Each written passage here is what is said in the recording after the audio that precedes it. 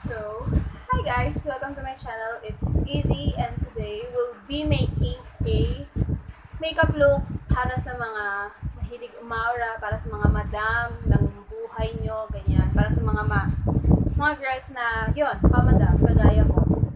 So, yan. Kaya may pinaglalaban yung off-shoulder natin kasi nga madam nga tayo ngayong araw. So, without further ado, let's start the tutorial.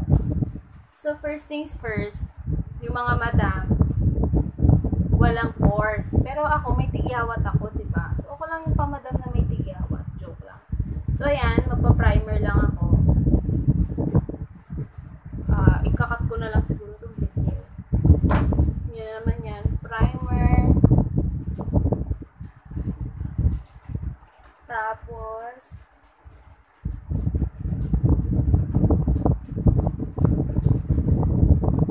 pantanggal lang ng oil sa face. Yan. Primer. Primed face ko. Okay na ako. Satisfied na ako dyan. Then, next is foundation. So, ayan. Okay na ako sa aking primer. Then, magpa-foundation na ako. Gagamitin ko today is ito. Maybelline Dream Satin Skin Foundation shade B3. So, I think this is second to the lightest one. Kasi alam ko B2 yung pinaka-light. So, I'll just use my fingers para ilagay siya dyan. Sa aking face. Para matakpan ng mga sumpa, mga malas sa mukha. So, sponge blender ako today. So, ayan. Bayan, nakikita niyo na naman yung ano ko sa lamin.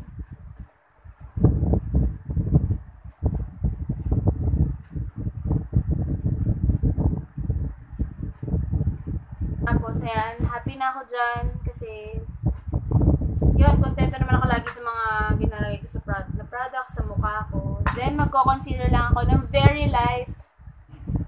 Gagamitin ko itong Careline Pimple Concealer. Ayan.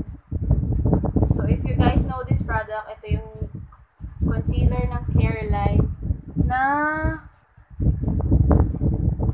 ah me- medyo minty yung feeling. So, yun, nagbabasketball na naman sa labas yung pinsan ko. Hindi ko alam kung naririnig nyo yung dribble ng bola. Pero sana hindi marinig. Because, mga ka-GRRR yun. So, yung bags ko lang yung ika-cancel out ko. Hindi ako mag-highlight para bonggang-bongga. Kasi, yung pimple concealer ng Careline is hindi masyadong ginagawa yung trabaho para mag-highlight. Kahit yung lightest shade na yung gamit ko. So yun, two shades lang naman ata siya, light and almond. Ay hindi, natural and almond. So yung natural, medyo maitim. Ito yung pina ito na yung pinakamaputi, guys. Ito na yon So, mag-isa-set ko lang yung powder ko using my Maybelline All-in-One Clear Smooth All-in-One Two-Way Cake. Wala ako ng brush. So, ayan. So, yan, medyo used na siya. Abused na rin siya kasi matagal na sa akin. So, ano lang tayo. Set lang natin. Para hindi lang ako mag-oil girl. Para hindi lang tayo mag-oil ng bongga. Kasi nga yung mga madam na mahilig umawala, pack sila. Pero ngayon magbe-bake ako, pero dahil wala pa akong baking powder, yung ano ah, yung, wala pa akong, hindi pa dumadating yung binili ko. Ayan. So, yung under eye lang siguro yung i-bake ko. Kasi, naman ako naglagay ng concealer sa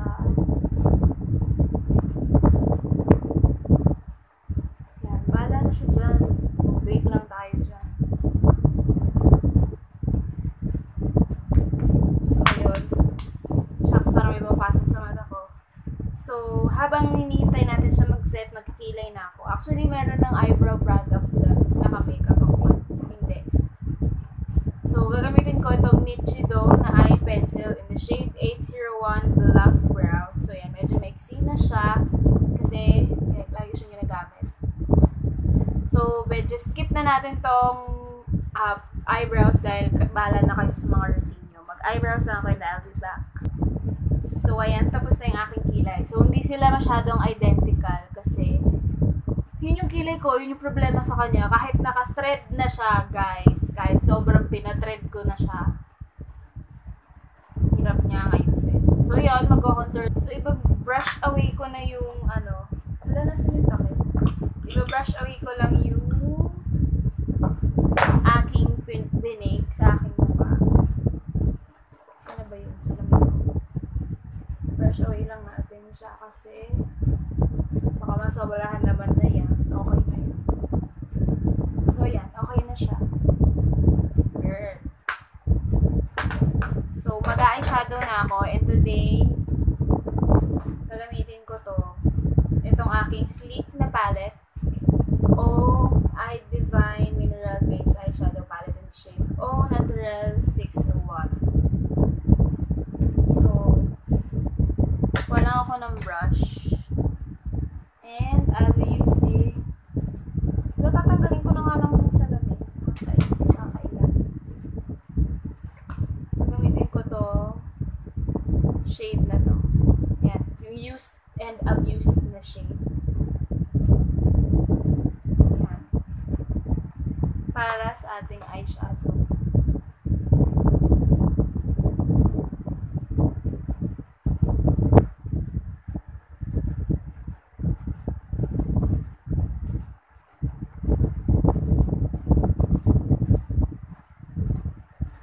So, blend, blend away lang tayo ng blend away.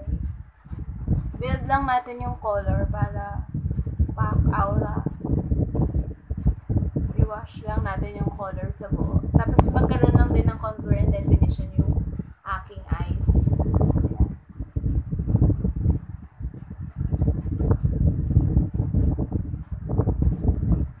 So, ayan. Tapos na ako dun sa both eyes using the brown shade na pinakita ko kanina. So, ngayon, gagamitin ko naman yung Maybelline The Nudes palette ko to add uh, shining shimmering keme dito sa may ganito ko. And, I'll be using the shade, this golden shade here. Yan, yung shade na yan. And I'll be using my brush, this one. Basahin ko lang siya para kumapit yung pigment. Then, lagay natin siya dito.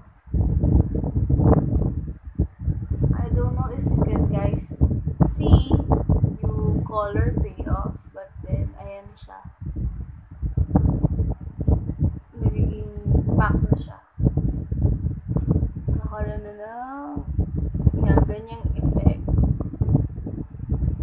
Pero dadagdagan ko pa yan kasi hindi pa ako satisfied dyan. Masyado akong extra. So, G lang tayo. Lagay lang ng lagay. Ayun.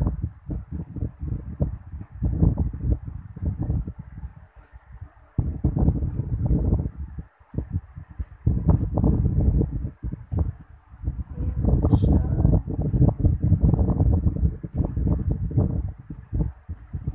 Ayan. So, ayan. So, Ganun satisfied na ako dun sa pag-glitter niya. So, balik tayo dun sa brush na maglalagay lang ako. Ita-try ko maglagay ng, ayun, huwag na tayo mag-falsies kasi easy. Huwag ka na mag-falsies kasi di ka naman sanay, hindi ka pa nagpa-practice. Diba? Meron ko practice maglagay ng falsies. So, di ko alam bakit ako merong isang box ng Taiwan lashes. Hindi naman ako marunong maglagay niyan. So, magmamascara na lang ako and I'm using this Fashion 21 mascara. And I hope you guys could see the difference between my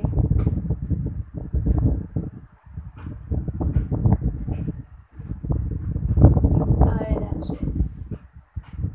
Kasi minsan hindi ko na difference ng lashes ko. Pag nagmamascara ako, So, yan. Magay lang tayo. Na ako and I'll be using Oil Control Blush On in the shade Fresh Tomato to put on my blush. To add blush. So, doon ko sa ibabaw ng contour ilalagay. So, wish me luck. Doon siya. May. So, ayan.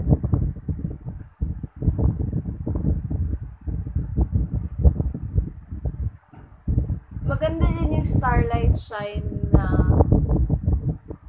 shade nitong Careline.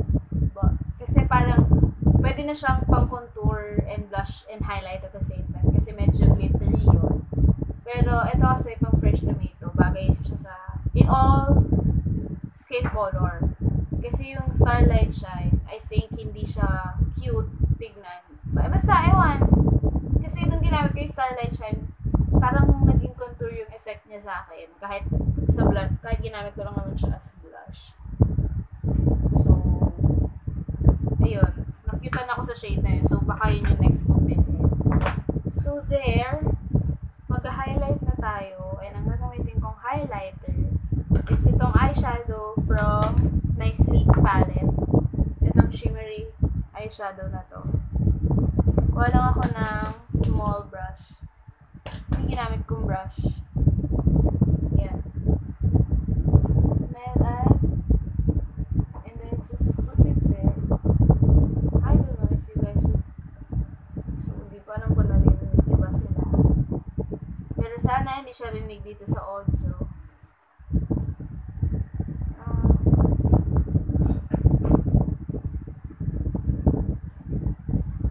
okay na ako dyan. Ayoko nang mag-highlight ng bonggang-bongga.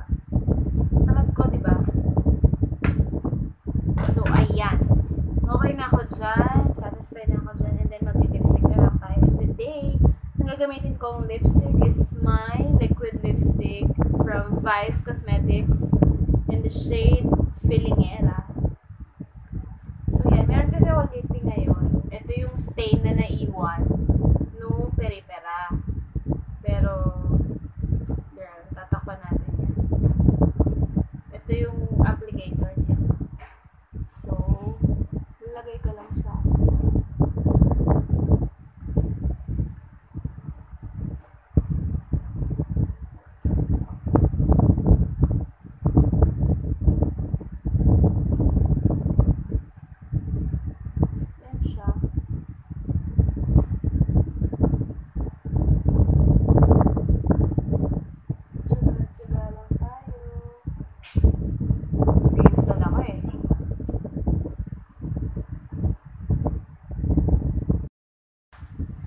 Ito na yung final look. Ayan na siya. With the earrings. Ayan.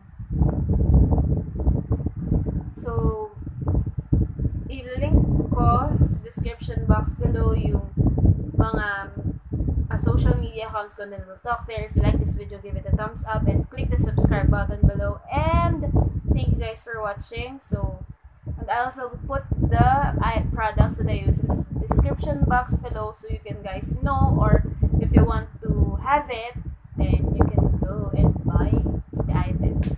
So, yon. See you guys on my next one. Bye!